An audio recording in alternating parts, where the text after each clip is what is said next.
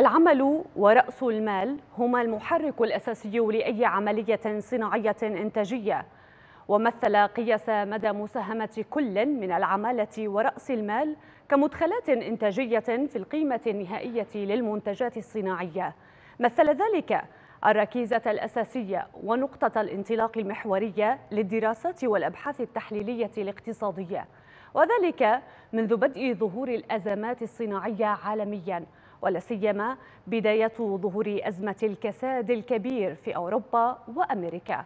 وكان توجه معظم الباحثين والاقتصاديين لمعرفة أسباب هذه الأزمات الاقتصادية وأبعادها الشاملة وآليات حلها.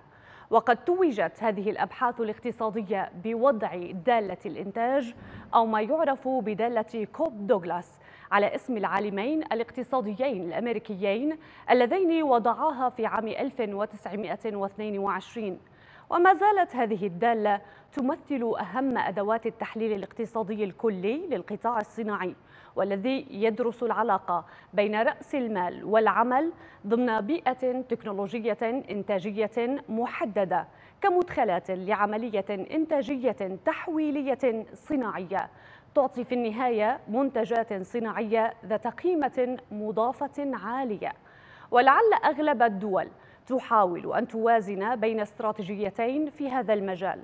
الأولى تعتمد على زيادة كثافة رأس المال وتخفيض الاعتماد على القوة العاملة البشرية وهذا يؤدي إلى زيادة حصة رأس المال من الأرباح. وانخفاض كتلة الأجور الإجمالية من الدخل القومي مثل التجربة الألمانية.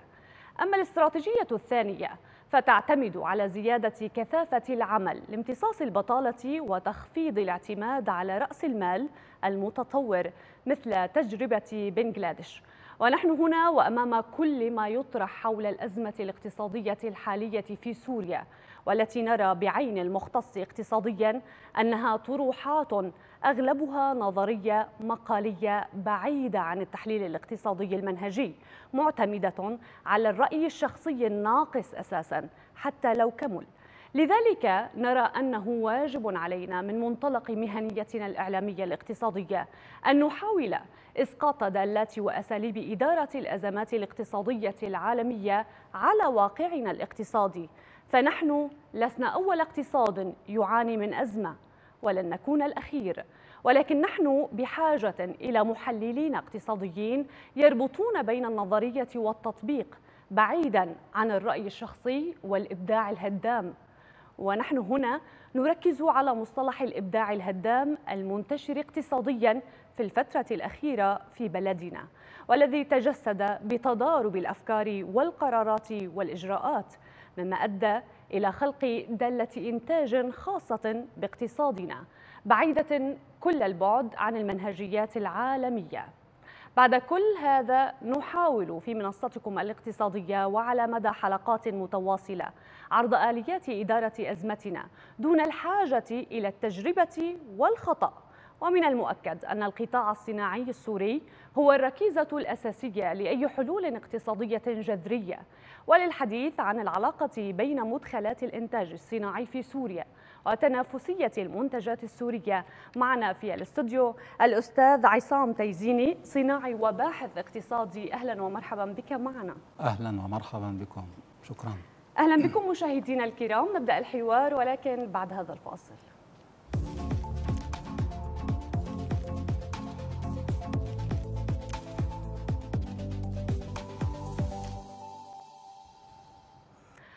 أستاذ عصام يعني بعد كل ما ذكرناه في المقدمة لن نعود إلى السؤال التقليدي وهو ما رأيكم بواقع الاقتصاد السوري؟ نريد منكم إجابة واضحة لماذا وصلنا اقتصاديا إلى هذه المرحلة. باختصار واقع الاقتصاد السوري للأسف بانهيار. وانهيار جدا متسارع وخاصة في السنتين الأخيرتين من 2019 تقريبا إذا بدنا نحكي بشكل عملي والواقع بدأ الاقتصاد السوري يعاني شيئا فشيئا طبعا بعد انتهاء الحرب العسكرية وبعد آه، الخلاص من الأعمال العسكرية التي كانت نعم. تقض مضجع السوريين بدأ الاقتصاد بالانهيار بدأ بالتراجع شيئا فشيئا إلى أن وصلنا إلى ما نحن عليه الآن. وأعتقد بأننا الآن قاب قوسين أدنى أو أدنى من القاع. طبعا سألت حضرتك لماذا؟ هذا الأمر له أسباب كثيرة.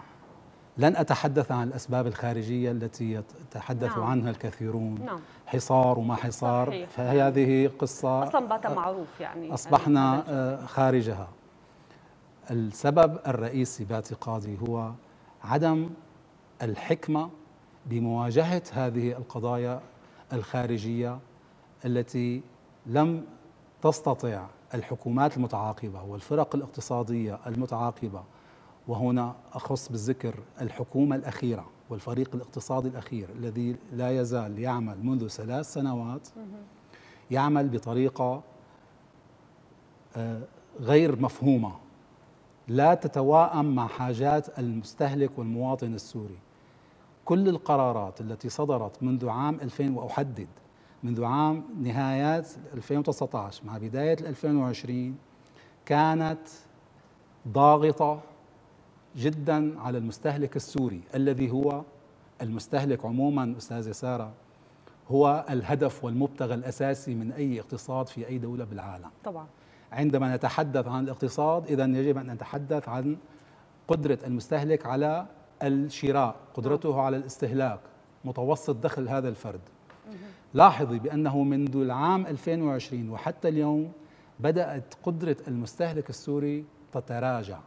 بشكل كبير. تتراجع وأصبحت تتراجع بشكل صارخ منذ سنة ونحو الآن.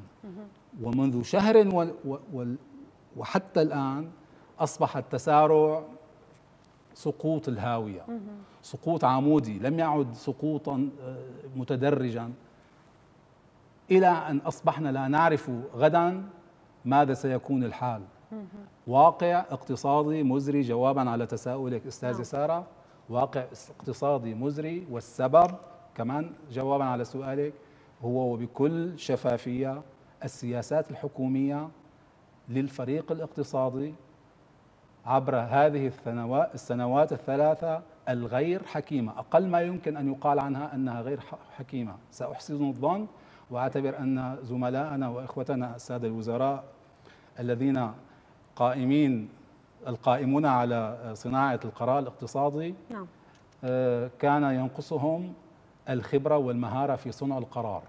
طيب أستاذ عصام يعني بدأت بكلمة جدا قوية وكبيرة يعني وليست بسهلة موضوع أن نقول بأن الاقتصاد آه، انهار أو بدأ بالانهيار أو نحن أصبحنا في القاع آه، لأنه أيضا هناك أشخاص يرون بأنه آه، لم نصل بعد إلى القاع. هناك أمل في أن يتحسن الوضع تدريجيا. سنتحدث عن كيف يمكن لهذا الأمل أن يعيش وسط هذه البيئة الاقتصادية. ولكن إذا أردنا أن نضع المعطيات الاقتصادية ضمن إطارها الصحيح برأيكم أين يكمن الخلل وفق النظرية الاقتصادية الأساسية التي تحدد عناصر الإنتاج بالموارد الطبيعية رأس المال والعمل والإدارة ضمن هذه المنظومة. أين هنا يكمن الخلل؟ يكمن الخلل في الإدارة. حكما يكمن الخلل في الإدارة. عندما يقع المرء أمام مشكل ونحن وقعنا في سوريا أمام مشاكل وعقبات كثيرة يجب أن يكون هناك من يتصدى لهذه المشاكل بحكمة والإدارة الجيدة.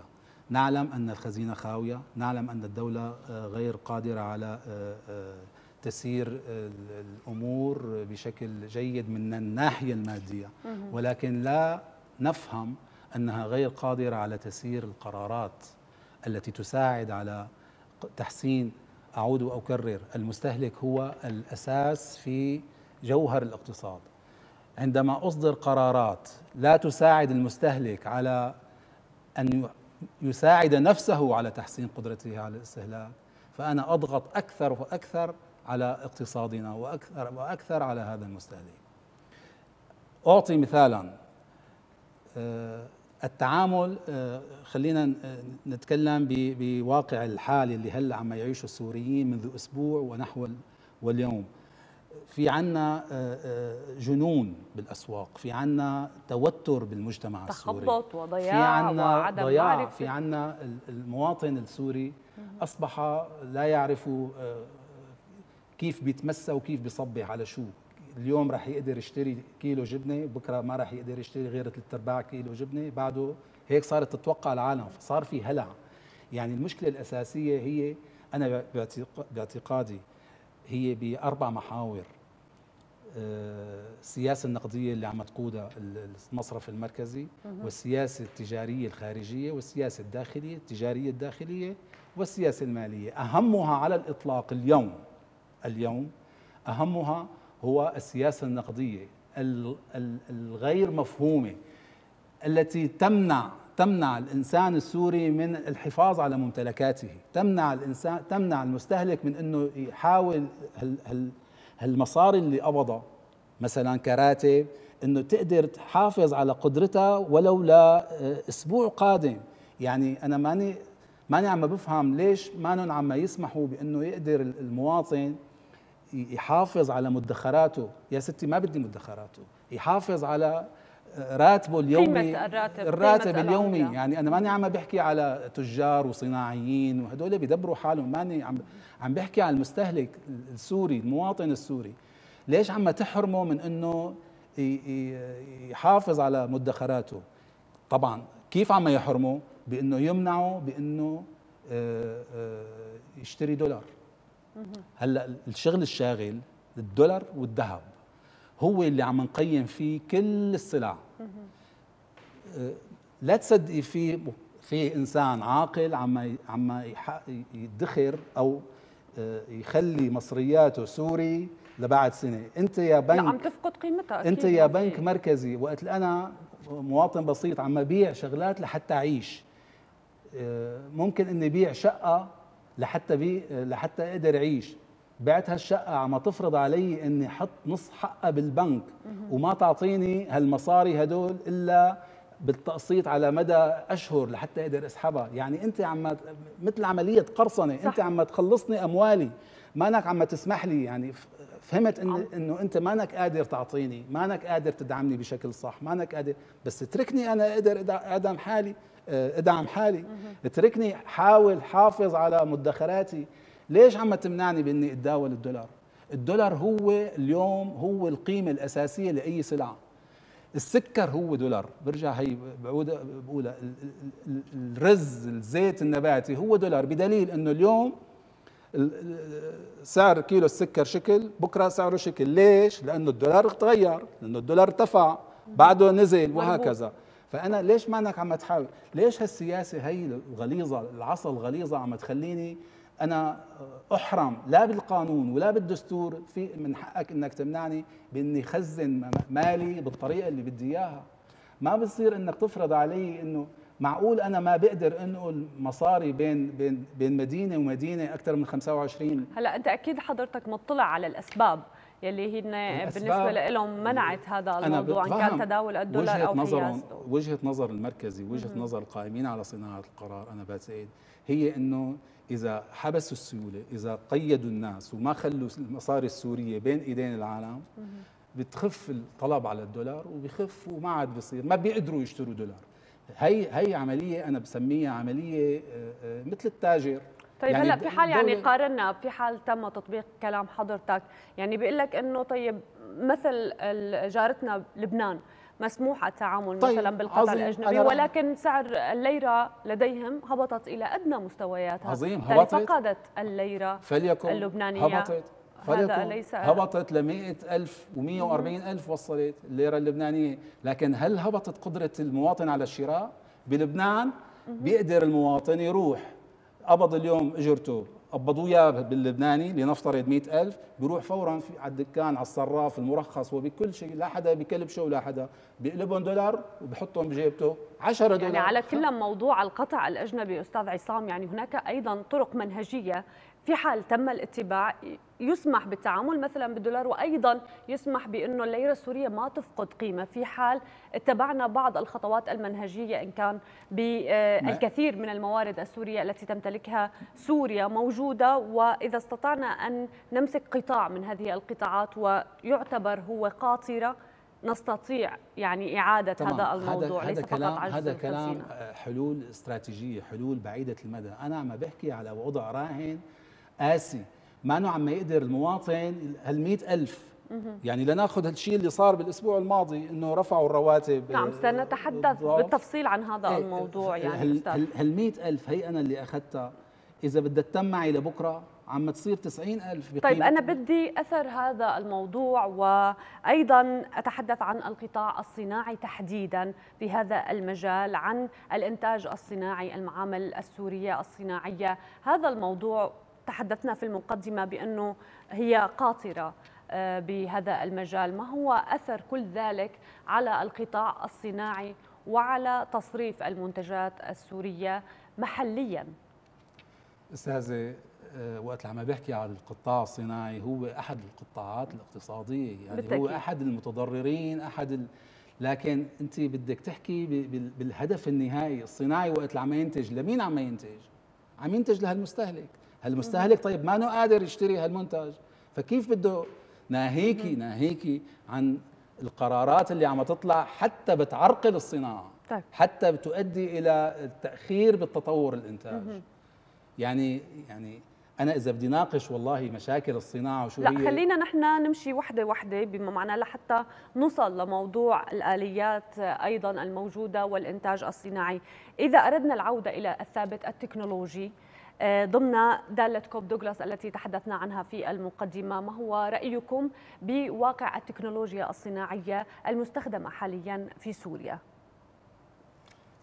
هلا انت هيك نقلتيني لموضوع خارج خلينا نمشي وحدة وحدة لأنه موضوع آه التكنولوجيا الصناعية التكنولوجيا نحن نحن يجب مواكبتها. بسوريا مشان تتعرفي على الواقع الصناعي بسوريا وواقع المصانع أبعد ما تكون عن التكنولوجيا. ما في عندنا صناعات تكنولوجية ولا في عندنا صناعات على مستوى العالم متطورة. نحن لساتنا عم عم عم نحبو نحبو ونحبو ببطء لأنه يكون في عندنا صناعات. لأنه نحن كان منذ بداية عام 2000 لحد العام 2010 تقريبا كان مستوى الصناعة التكنولوجي متقدم جدا بالنسبة لمرحلتها الزمنية. ولكن بعد ذلك بدأت التكنولوجيا الصناعية بالتراجع بمستوياتها وأيضا مثل ما ذكرت حضرتك يعني لا نريد إلقاء اللوم على الأزمة والحرب بكونه نحن عم نشاهد الصناعي السوري عم بيتميز خارجيا إقليميا وعربيا.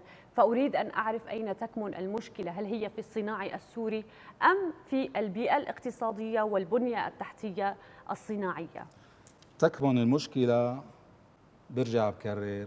ليس بالصناعي السوري اطلاقا، الصناعي السوري من أمهر الصناعيين في العالم.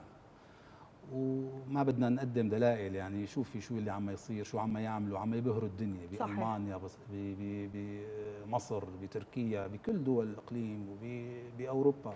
الصناعي اينما حل، الصناعي السوري اينما حل يبدع. إلا في بلادنا. إلا في بلدي.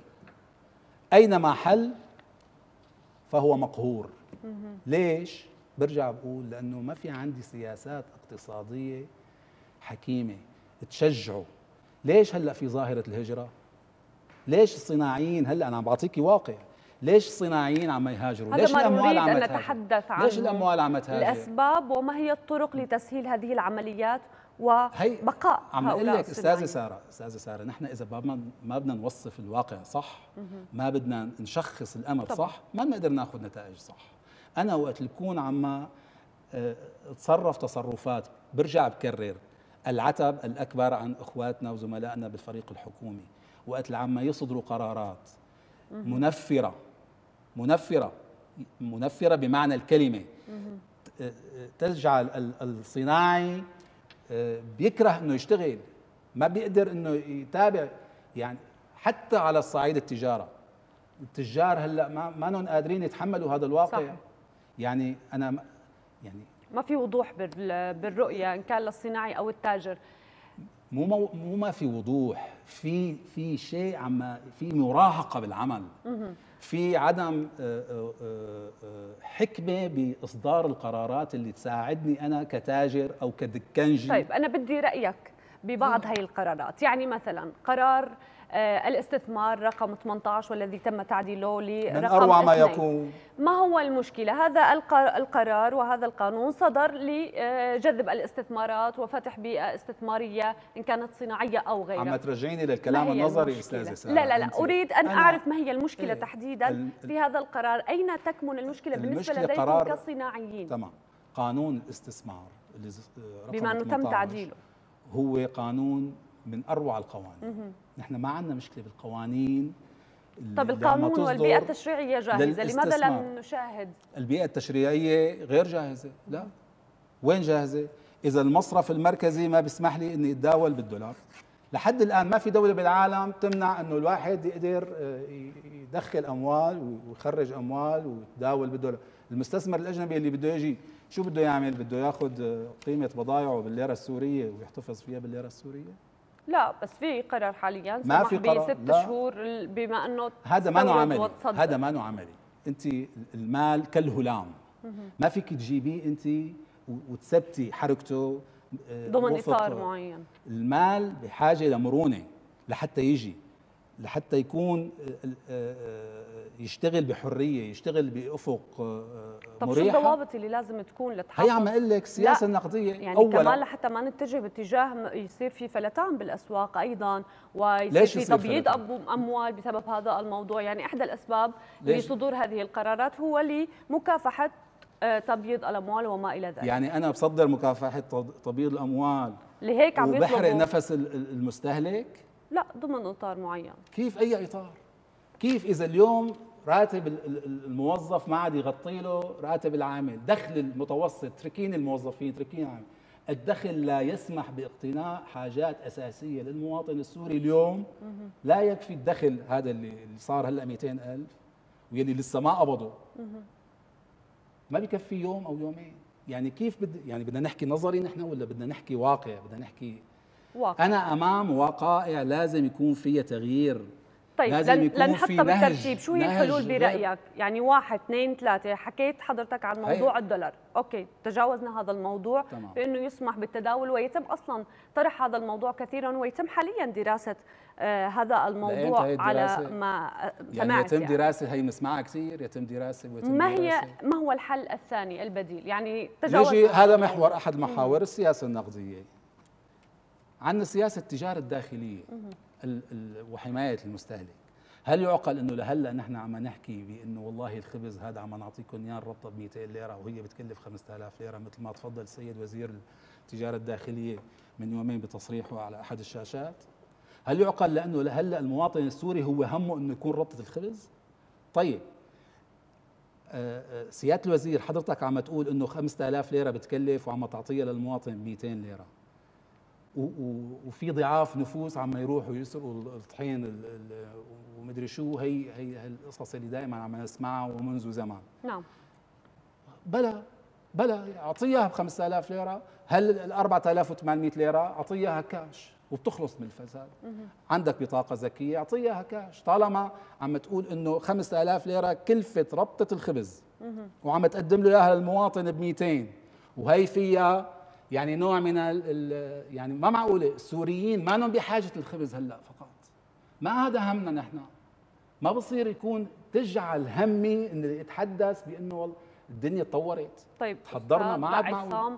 يعني أين دوركم في اتخاذ مثل هذه القرارات؟ أنتم كفعاليات اقتصادية صناعية وطنية موجودة ألا دورنا أنه نتحدث اتخاذ نساعدهم. رأيكم في هذه دورنا. القرارات نحن ما والمشاركه ما سلطات ت- تنفيذيه دورنا إنه نتحدث مثل ما هلأ مع حضرتك عم نحكي ونعطي نصائح عم بحكي عن صناع القرار.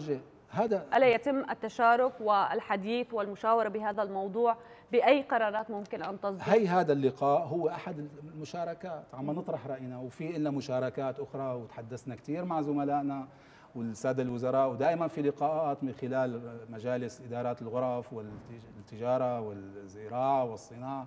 دائما في لقاءات لكن لا حياة لمن تنادي. لا يؤخذ بكلامنا كصناعيين أو كتجار حتى مستهلكين حتى مواطنين لا يؤخذ بكلامهم. يضرب بعرض الحائط كل يعني شيء. يعني يسأل فعلا في الشارع السوري إذا لم يؤخذ برأي الصناعي بقرار يخص العمل الصناعي البحث إن كان بارتفاع تكاليف حوامل الطاقة وما إلى ذلك. رأي مين يؤخذ لك لصدور هاي القرارات؟ للأسف أنا برجع بكرر إنه أنا بدي أحسن النية. في شيء عما عما يصير يعني في في أخطاء في أخطاء عم والمشكلة الأخطاء عم تتراكم شيء فشيء يعني خليني آخذ مثال ما بعرف إذا حضرتك آه، تسمحي لي. يعني الخطأ اللي حصل بالمنصه اللي صرنا عم نحكي فيه يعني فعلا تحدثنا بهذا تحدثنا الموضوع ولم أقابل شخص يلي صناعي أو تاجر رجع أو عالج الموضوع هو نفسه اللي مارس الخطأ. صحيح. طيب بأي منطق اقتصادي هذا؟ بأي منطق؟ أنا وقت العمى بغلط بطريق معين. تم تعديله وليس الغائه تم تم تم الغائه واليوم رجع رجعت لنفس القصة. قرار 970 تعديل. تم التعديل. هلأ ألغي القرار اليوم اليوم ألغي القرار 970 ورجعنا لنفس القصة.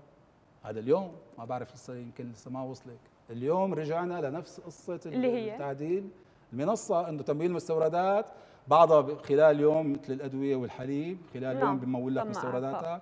وبعضها بعد 150 يوم. بتحط لي مصريات اليوم يعني بعد 150 يوم بقصر لك إياها. قديش بعد 150 يوم؟ صار الدولار بقصر لك إياها. هي رجعت اليوم. وما بعرف كيف. يعني هناك هناك آه، آه، شيء من التخبط خلينا نقول. هناك شيء من الغوغائية. أهم شيء هناك نعم. عد تفكك ما بين أعضاء الفريق الاقتصادي. نعم اسمح لي أن نذهب ونتابع هذا التقرير أنا وأنتم وضيفي الكريم ومن ثم نعود.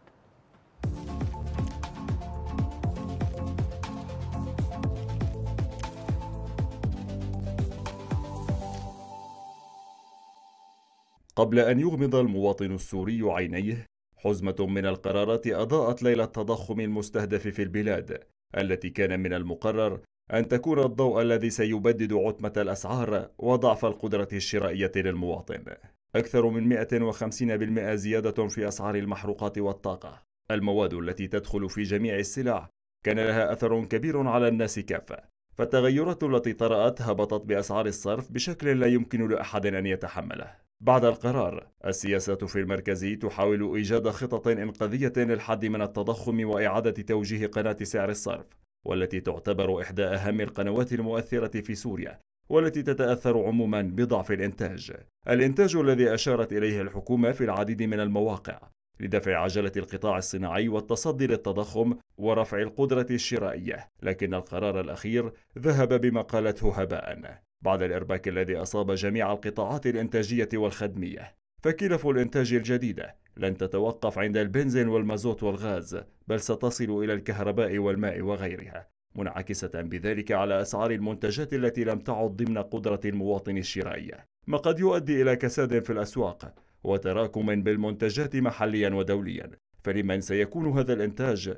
ومن سيصرفه؟ في ظل ما نستورده من مواد خام أو نصف خام ليبقى إنتاجنا حبيس الأسواق فلا مكان له في الخارج مع فارق الأسعار ولا في الداخل مع فارق الدخل.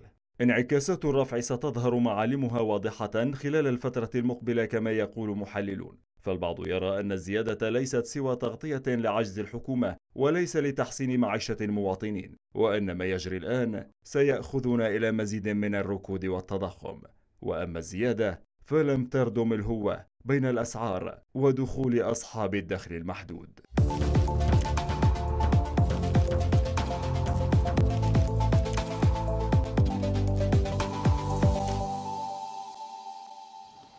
أهلا بك أستاذ معنا مجددا. يعني كنا نتحدث قبل هذا التقرير عن آه، أثر القرارات الأخيرة التي صدرت. وإن كان منها ارتفاع حوامل الطاقة وأيضا أثر الآخر لارتفاع أيضا ورفع آه، الزيادة الأخيرة للرواتب والأجور. وأريد أن أسأل حضرتك بما يخص القدرة الشرائية التي تحدثت عنها الفعلية للمواطن التي أصبحت بأدنى مستوياتها ما هو مستقبلها؟ وأيضا ما هو ما هي الحلول المطروحة؟ يعني تمت الزيادة 100% حضرتك ذكرت بأنه هي غير كافية لأنه هي عم تنقص من قيمتها الحقيقية. ما هي الحلول برأيك؟ وموضوع أيضا رفع الدعم وما إلى ذلك. هلا بدي أحكي ارجع كرر فقط نقطة إنه نحن بنقصنا للأسف الشديد حكمه بالقرارات وحكمه بالتعاطي بالشأن نعم. الاقتصادي. يعني هذا الموضوع صراحة ومن, واضح ومن هذا أوكي. ومن هذا وهذا ينطبق على ما حصل خلال الأسبوع الماضي. الأسبوع الملتهب. الأسبوع والكثير من التجار الصناعيين قالوا بعد يمكن أسبوع رح نلحظ الأثار السلبية لهذه القرارات الناس صارت تحكي مع حالها أستاذة سارة. أنا صدرت طبعاً. قرار وعلى عيني فهمنا إنه آه، في ضغط. ماذا بعد؟ آه، وصدرت قرار برفع أسعار طيب خلي فاصل. يعني رفعت أسعار رفعت الرواتب 100% تمام ماشي الحال. شيء أحسن من بلا. رفعت الرواتب 100% طيب انتظر لك شيء أسبوع أو 10 أيام أو انتظر ليقبضوها بعدين ارفع آه، الشيء الثاني يعني هلا وقفت مع صرنا متحملين. بعدين غير عن هيك يعني عمليا يلي عم يصدر هيك قرارات عم يفكر بعقليه التاجر إنه بده مكسب وهي حكومة. ما بيجوز إنه تفكر بطريقة التاجر إنه فقط بدها تكسب. اعطيتك من الإيد اليمين أخذت بالإيد اليسار. هي هي زيادة إجت نتيجة ارتفاع زيادة أسعار حوامل الطاقة يعني. تماما. التنتين التنتين مبررين. رفع اسعار الطاقة أنا بتفهمه لأنه ما عاد تقدر الدولة إنه تتحمل هالأعباء هي. رغم إنه في حلول طبعا طرحنا كثير حلول لكن هذا موضوع آخر. أما إني فكر بعقلية التاجر ارفع الرواتب 100% على عيني 100% أخذناها. انطرني انطرني بس لاقبضها نجي للدعم. الدعم ليش بقى؟ يعني عم نحكي بالدعم صلنا آه، سنين وسنين. ليش عم تخليه؟ لأنك تدعم الخبز ولا تدعم المازوت ولا تدعم. ادعام جيبه المواطن. يا أخي لتر البنزين كنت عم تبيعه يا التنكه ب 75000 هلأ عملتها ب 160000 للكل. للمدعوم 75000 هلأ عملتها ب 160000 طيب هالمبلغ هذا الفارق اعطيها اعطيها كنت. يعني بس هذا المبلغ يعني تم ذكر بأنه هو سيذهب إلى عجز الموازنة لتغطية عجز الموازنة وليس هو يعني آه، سيؤخذ الدعم ل اعطائه بمكان آخر. هذا لعجز الموازنة بالأرقام وبالهي أنا عم بحكي يعني نحن عم نسد ثغرات موجودة بعجز الموازنة من إيه، إيه، نتيجة لكن رفع الدعم. لكن لكن آه، مصدر القرار عم يدعي بأنه لا يزال مدعوم. يعني 8000 سعر لتر البنزين هو سعر مدعوم لأنه قيمته الحقيقية هي 12000 فأنت عم تعطيه إياه ب 8000 هو ولل اللي ما مدعوم عم ياخذوا تبع الأفران ب 700 والعادي ب 2000 طيب هل 6000 هي بدل ما يكون في فساد وتنباع البنزين على الأروقة وفروا واعطيها المصاري هي يعني أنا بقصد آلية الدعم يجب أن تكون للجيوب الناس كاش ربطة خبز مو ب 5000 عم تقول هذا الموضوع يعني يتم عندما تكون خزينة الدولة لا يوجد فيها ما هو عجز. ما هو ما هذا العجز ناتج عن المبالغ هي اللي عم تندفع لكن عم تندفع ثمن أقماح وثمن طيب. بنزين. بدل ما إني وأنا عم برفعها يعني اوريدي أنا عم تم أدفع هي المبالغ لكن عم بدفعها لمين؟ للسلعة. لحتى تروح السلعة ما عم تروح لمستحقينها. فأنا لحتى تروح بالشكل الصحيح وتكون سياسة الدعم مجدية أعطيه كاش إدعم جيبته بالمصاري وبيعه بالسعر النظامي. طالما أنت عم تدعمي طالما 4800 ليرة هدول عم تحطهم دعم للخبز. أعطيه إياهم بدل ما أعطيه إياهم وبيعوا إياهم ب 5000 ليرة. بيعوا الربطة ب 5000 ليرة وإلى آخره. يعني الفكرة إنه في عنا لا يزال في عنا آه، آه، نهج آه، غير غير غير حكيم. نهج لا يزال يتبع منذ الثمانينات لليوم عم يكرروه. ناهيك عن إنه لا نزال نعمل بقوانين ما قبل الأحداث. يعني هلأ أنا إذا بدي رخص إذا بدي أفتح دكاني أنا أنا مواطن بسيط بدي أفتح دكان. بيطلب مني آه، وزارة التجاره الداخلية إني جيب له سجل تجاري وما أدراك ما هو السجل التجاري. نعم. سجل تجاري بده 100 ورقة. طيب أنا بدي أفتح دكان ساعد حالي. أنت ما عم تقدر كوظيفة. موظف وطلعت بدي أفتح دكاني. مم. إذا ما في معي سجل تجاري بتسكر لي؟ طيب. ما بصير. دعه يعمل دعه يمر. على على المستوى العمل هلأ. نحن لازم نعطي نريح الناس نخليها تشتغل. تمارس العمل. ما في شو المشكلة أنا إذا خليته يفتح دكان ولا ورشة حداده ولا ورشة نجارة ولا أو حتى المعامل والمصانع أو يعني حتى المصانع كان لدينا لقاءات مع صناعيين مغتربين في الخارج وللصراحة أبدوا استعدادهم بفتح فروع لهم في دمشق ولكن آه، بطلب بهذه التسهيلات الذي باتت واجبة يعني حاليا لكي يستطيعوا أن يفتحوا هذه المعامل والمنتجات. إذا هي المشكلة ليست في الصناعي وليست في التاجر لأنه تماما. ذكرنا حضرتك. ولكن من إحدى المشاكل أيضا غير القدرة الشرائية التي باتت منخفضة وأعطيتنا رأيك بموضوع آه، أثر الزيادة الأخيرة للرواتب. أيضا هناك أثر للتضخم الحاصل في السوق حاليا لأسعار الصرف. وهذا الموضوع يؤدي إلى صعوبة إتمام المعاملات التجارية والاقتصادية أيضا نتيجة عمليات تحويل الأموال وما إلى ذلك، ولكن السيولة باتت موجودة في السوق بشكل كبير جدا. تمام. أموال البنكنوت أوراق البنكنوت موجودة. تمام. فهل أنت مع طرح فئة آه، من العملة آه، جديدة أعلى تكون لتخفيف هذا الضغط وسحب السيولة طبعا. وأيضا لتسهيل المعاملات قبل ما أجاوبك على أني مع طبع آه، لأنه هذا له اختصاصيين أقدر مني. على أنه يجيب أنت كصناعي. أنا وباحث أنا بيهمني أنا بيهمني أنه هالتضخم هذا اللي عم يحصل؟ حد منه. أعمل له ستوب وقفوا على الأقل بالمرحلة الراهنة. وهذا ما بيتم إلا إذا عدلت السياسة النقدية. السياسة النقدية عندنا بسوريا تعتمد العصا بإدارتها تعتمد الزجر.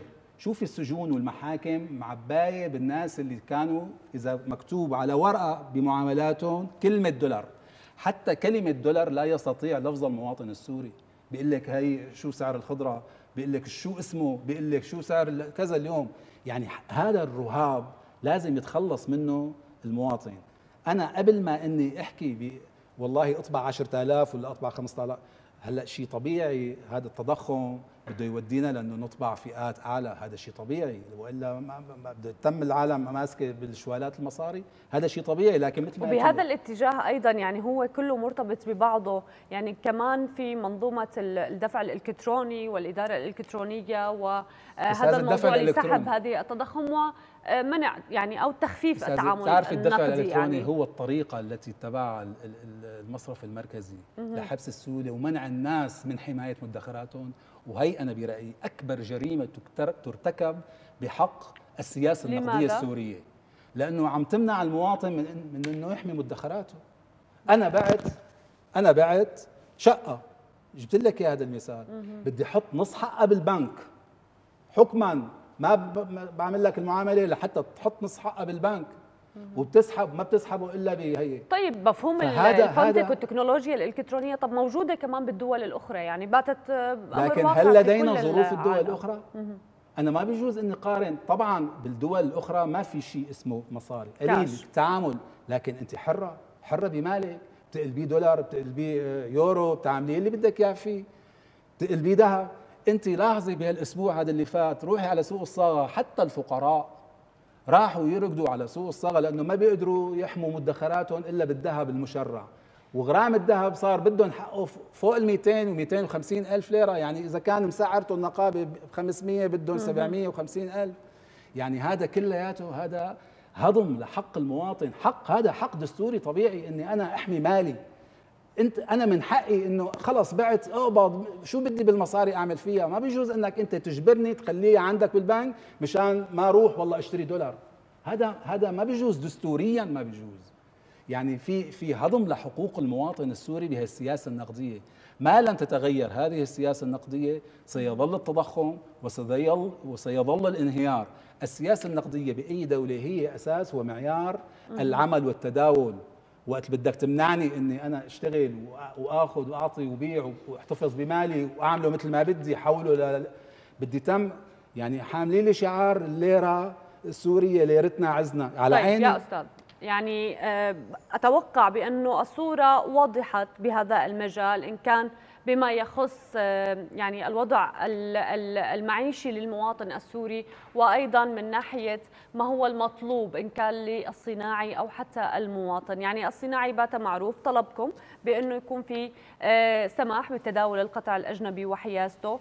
ما نعرف في حال تم دراسة هذا الموضوع هذا على مستوى السياسة النقدية. على مستوى بعجالة راح أقول لك الأخير مشان تكون الحل لأنه متكامل الوقت داهمنا السياسة التجارية سياسة القرارات. لا يجوز أنه يصدر عن السيد رئيس الحكومة قرار بمنع إحداث مصانع إلا ضمن المدينة الصناعية. هذا ما, ما أريد أن أسألك عنه. يعني صار في مطالبات كبيرة من قبل الصناعيين بإحداث مدن خاصة.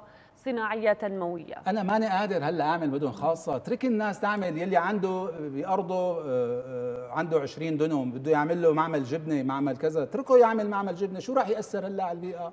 يعني هو الهدف منه هذا قضية تنظيمية. القضية التنظيمية بتكون لا وإعطاء كمان مزايا لهذه المدينة. يعني مدينة صناعية أعطاء مزايا ومحفزات أنا إذا كنت بدمشق أنا إذا كنت بريف دمشق الجنوبي ما بحق لك تعمل معمل إلا تطلع على المدينة الصناعية بعدرا طيب كيف هذا؟